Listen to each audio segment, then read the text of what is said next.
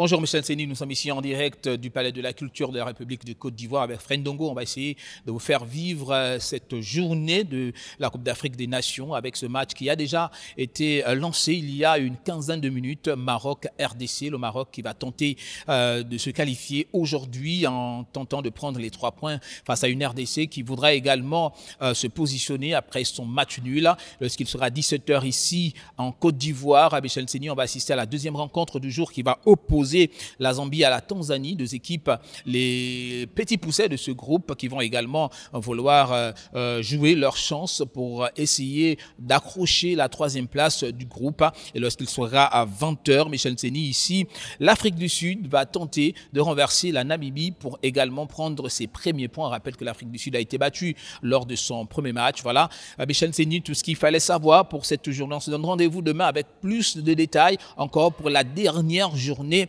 des groupes puisqu'il va avoir des matchs explosifs.